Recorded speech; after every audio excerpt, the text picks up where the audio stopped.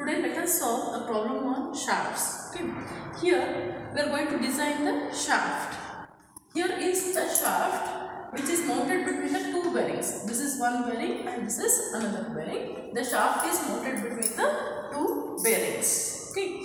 And this shaft is provided with a pulley at B, another pulley at C. Okay. So here this pulley is going to drive another pulley which is directly below it. In this problem, this pulley is going to drive another pulley which is directly below it like this. Okay. So this is the one pulley mounted on the shaft and below it there is one more pulley. So it will this pulley is going to drive the another pulley which is directly mounted below it with the help of belt.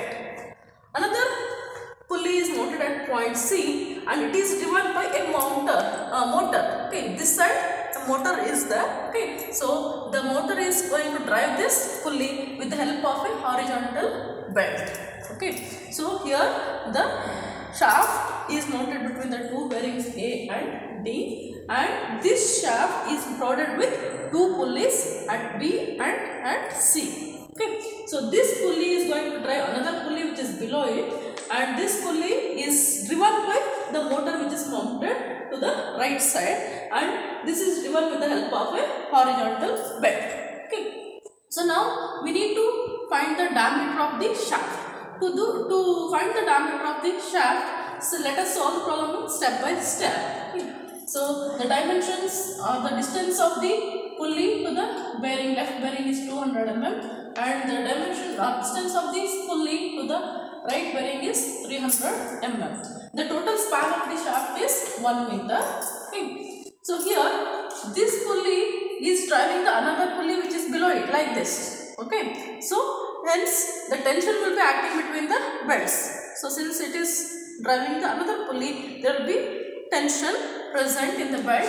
So let us call that tension as T1 and T2. And WP1 is the weight of the first pulley. WP1 is the weight of the first pulley. Okay, which will be acting downwards. So T1, T2 and weight all three will act downwards. Whereas here WP2 is the weight of this pulley which will be acting downwards.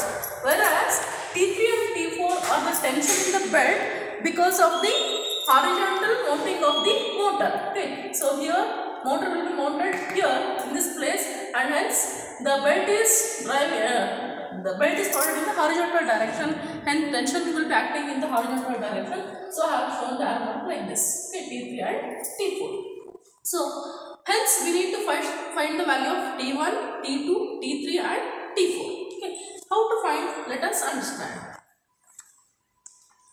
Here in this problem he has mentioned the diameter of the pulley 1 as 500 mm and weight of the pulley as 1000, 1000 Newton and diameter of the second pulley is 300 mm and weight of the second pulley is 500 Newton. Okay. And the angle of contact between uh, the angle of contact is given as 180 degree for both the pulleys and mu coefficient of friction is 0.24 and the shaft material is having the properties of yield strength as 3, 235.4 MPa and ultimate strength as 425 MPa. And tension in the first pulley is given as 3000 Newton. So these are all the data given. Has given the data about the diameter and weight of the first pulley. Similarly diameter and weight of the second pulley, theta and mu and the material properties of the shaft. Okay. So using this data we have to find the diameter of the shaft. Let us first go for the calculation of tension. Consider the pulley at B. I will consider this pulley. This is the first pulley. Okay. Let us consider this pulley. For this pulley, we know the ratio of tension as T1 by T2 is equal to E raised to mu theta. T1 by T2 is equal to E raised to mu theta is the ratio of tension between the two pulleys. Now T1 is given as 3000 Newton. Substitute.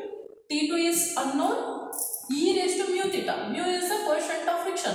Given as 0.24. Mu is 0.24. Substitute the same. And theta is 180 degree. He has given the theta as 180 degree. So 180 convert into radians. pi by 180 multiply with pi by 180 so you can find the value of T2 as 1411.5 Newton if you calculate this you will get the value of T2 now so total vertical load acting on the shaft due to first pulley. The first pulley is uh, giving the weight of its own weight vertical weight uh, that is uh, weight will be acting downwards. Okay. So weight of the first pulley t1 and t2 so like this. This is the pulley.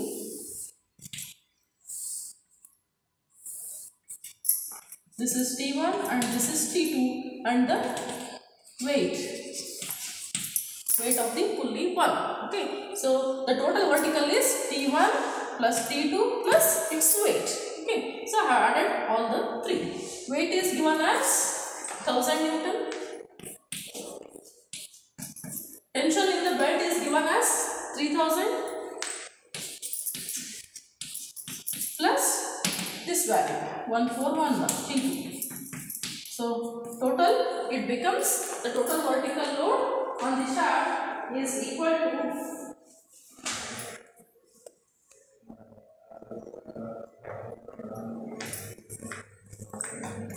five four one one point five Newton. Okay, so if you add all the three values, it comes to be five four one one point five Newton. This is the total vertical load acting on the shaft due to the first pulley.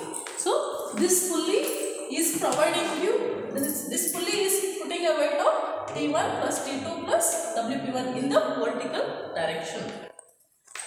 And is there any horizontal load due to first pulley? No, because this pulley is driving the another pulley. This is the one pulley. Below this there will be another pulley. It will be driving in this direction. So there is no horizontal load at all. So horizontal load on the shaft due to first pulley is zero. Okay. So this is zero. This is about the vertical load load of the first pulley. Okay. So how to calculate the torque? Calculate the torque using the formula difference in tension multiplied by radius. We can calculate the torque as difference in tension between the belt multiplied by the radius of the pulley. So T1 value is given as 3000. T2 is given as we call we calculate it as 1411.5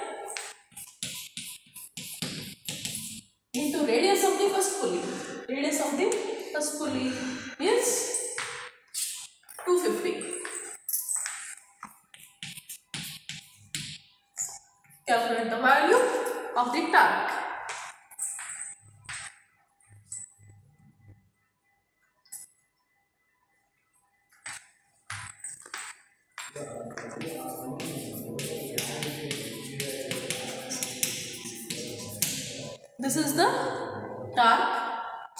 On the shaft. Now let us go for pulley at C. I'll consider this pulley. So what are the weights and the tensions acting on the shaft due to second pulley? And Let us see.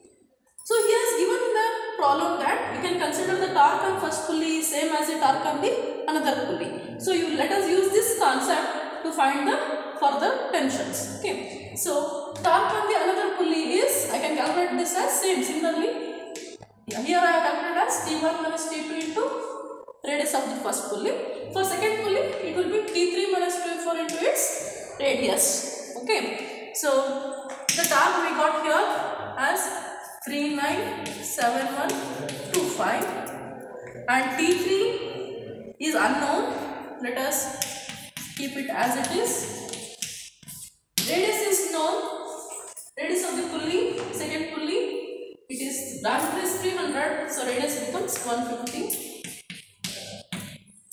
So if you simplify this, you get the expression for T3 minus T4. T3 minus T4 will be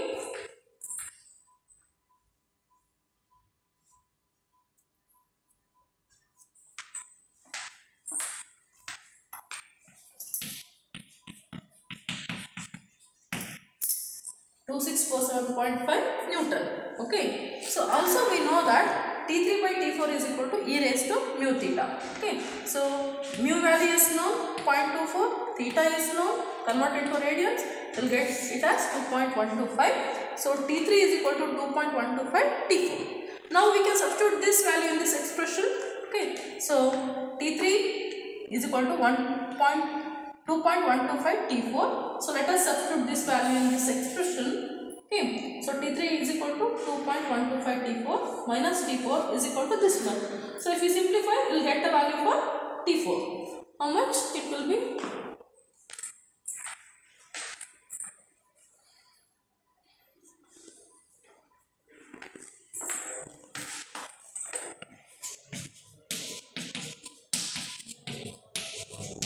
Okay, so it will be 2353.33 Newton. Now we know the value of T4, we know this RHS value, we can find the value of T3. Substitute the value of T4 here to find the value of T3.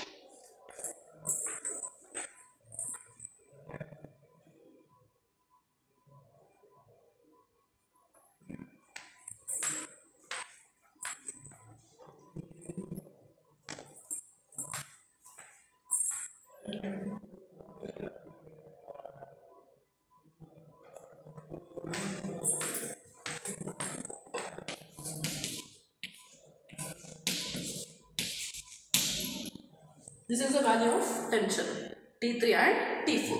Okay. Now we got the value of T3 and T4. How they are acting? They are acting in the horizontal direction.